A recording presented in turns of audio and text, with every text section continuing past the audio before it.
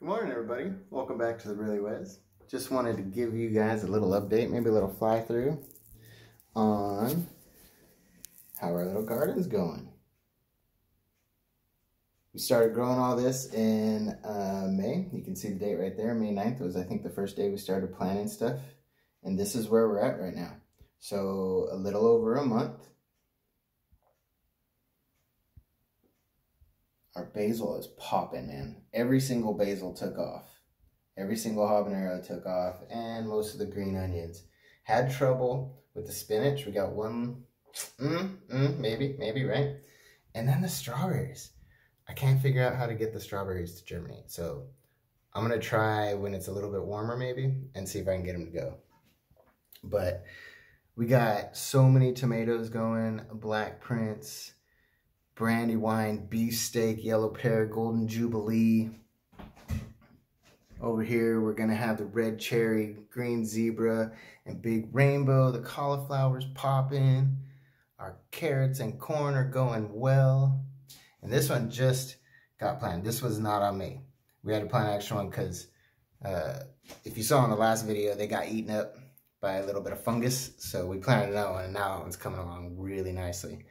Um, Cayenne, Hungarian, Serrano, Carolina Reaper, Poblano, Anaheim. I mean, we're going to have all the peppers that we could want. All right, another thing I wanted to show you guys is this right here. That's our green onions. If you buy green onions at the store, I recommend keeping them like this. Every time you want some green onions, just come in here and trim it down to here. Trim it down to here. I mean, you could pull it up and trim it a little bit lower if you wanted to, but as you trim them, they're just gonna grow you a new shoot. And if you take care of them, you can, we can usually keep ours going for about a month. So, you know, hook it up. All right, let's come outside again. Now let me show you out here. Now look, you guys have already seen out here, and this is the start. I mean, this is our deck that came with the house, right? so what we're gonna do is I'm going to extend this roof out to the end of the deck and we're going to wall it in with the greenhouse plastic walls, you know, and this is going to become our greenhouse.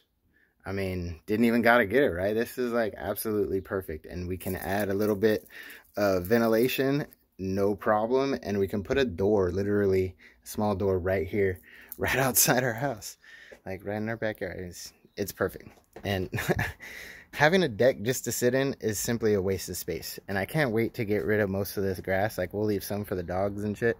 But I'm I'm pretty sure that I want to put some raised beds in here so we can have more growth next year. But yeah, everything's doing super well out here. I mean, I've never been in a place that just it, I don't really need to do anything here. It just grows. Like everything just loves being in this place. Like, it's crazy. The weather is absolutely perfect here. It doesn't get too cold, doesn't get too hot. We get a nice rain all the time. The bean is just, and the bean is exploding. It's so fun to watch this thing happen. These leaves were not this big like 24 hours ago. Just, the explosions day to day are so fun to watch. So fun to watch. The little peanut. So I showed you the one inside and then this is the one that's been going a little bit better. That one inside took a while. So it's got some catching up to do.